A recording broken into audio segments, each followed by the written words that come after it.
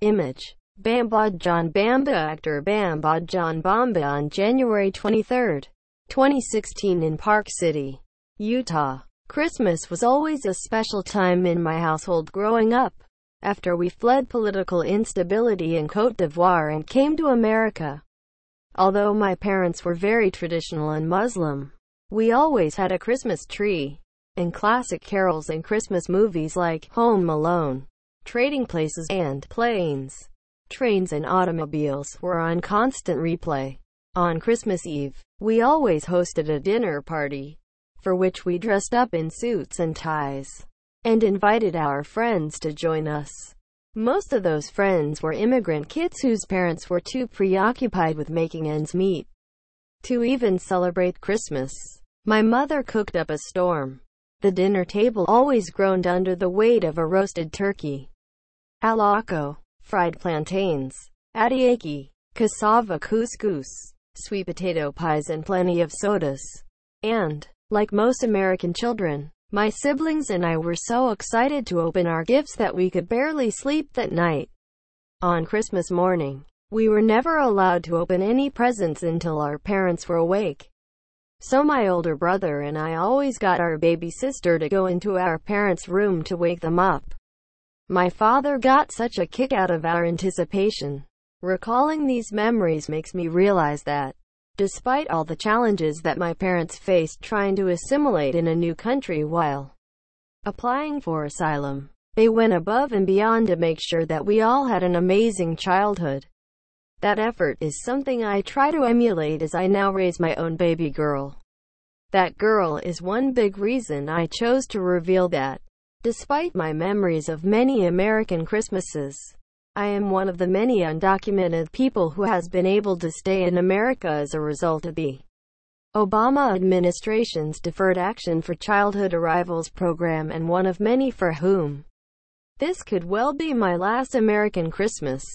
Now that the Trump administration has ended the program and Congress has yet again failed to take action to restore it.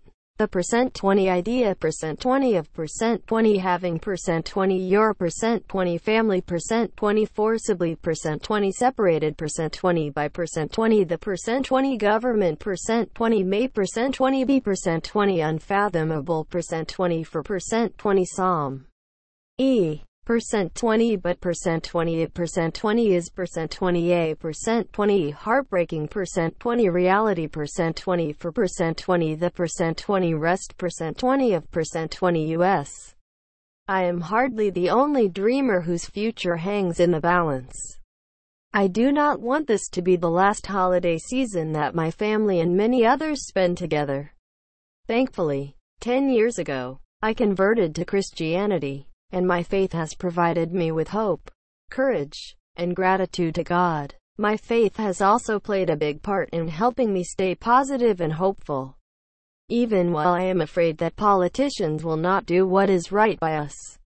It gave me the courage to lend my voice to the immigration fight.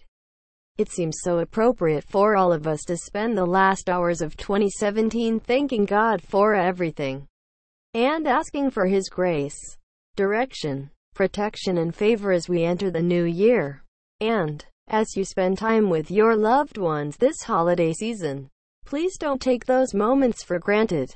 All over America, other families are being torn apart due to the cruel and senseless immigration policies of this administration. The idea of having your family forcibly separated by the government may be unfathomable for some but it is a heartbreaking reality for the rest of us. But we don't have to fight alone. You can stand with us this Christmas and after. Stand up for families everywhere. Demand that the government stop tearing us apart. Bambadjan Bamba is an actor, filmmaker, and ambassador for Define American. Bambadjan has played pivotal roles in a number of recent films and current TV series including Black Panther, quote, Suicide Squad, The Good Place, The Sopranos, and Grey's Anatomy. Quote,